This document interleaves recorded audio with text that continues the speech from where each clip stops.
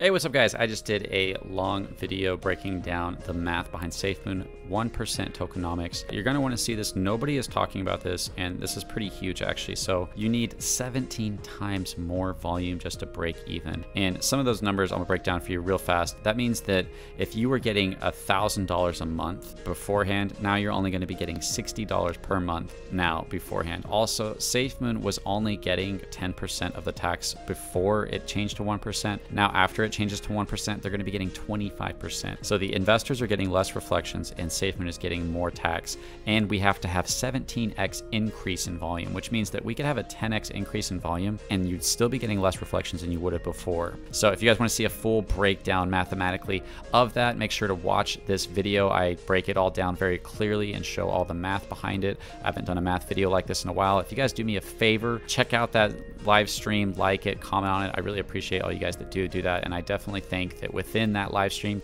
you're going to find information that if you're a SafeMoon investor, you're going to find very valuable. I'll see you guys in the SafeMoon 1% tokenomics video, and let's go ahead and break down this math.